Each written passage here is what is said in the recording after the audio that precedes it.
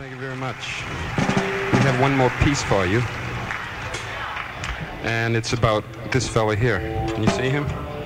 That's a mouse. He's from Mexico.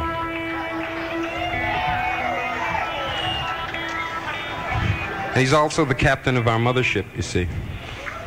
We built a very small cockpit for him, about this big. And we call the piece Captain Senor Mouse.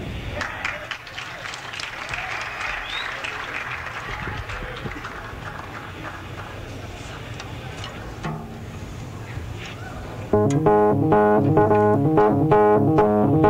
you.